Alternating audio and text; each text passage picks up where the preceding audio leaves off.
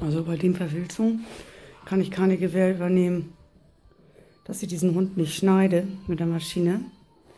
Da der, weil er auch ziemlich weiche Haut hat, überall diese Hautlappen. Und, und wie man sieht,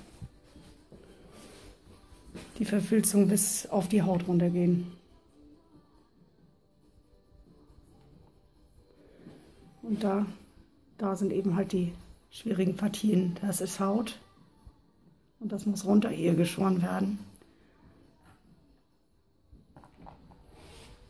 Wie gesagt, dafür übernehme ich keine Gewähr.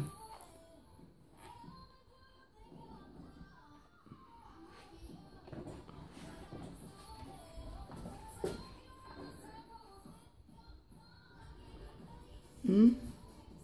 Auch im Kopf genau dasselbe. Das Filz.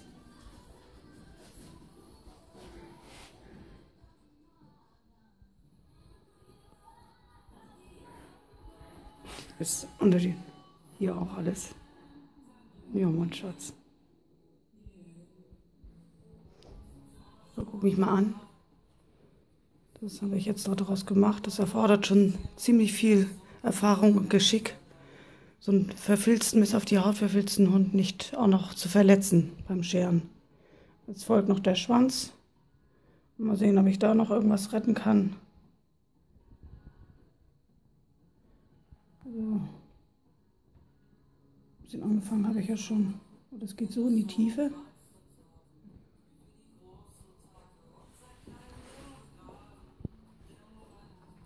Mehr. Beine relativ kurz.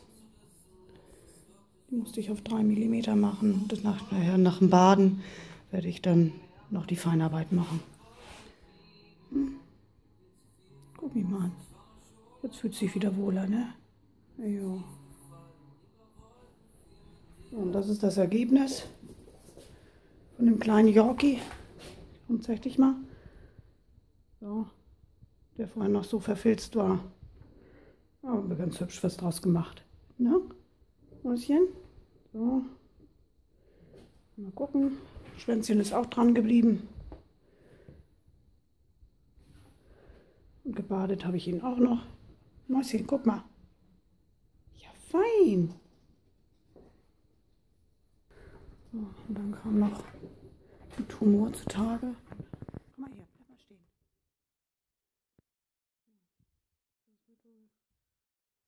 operiert werden müssen.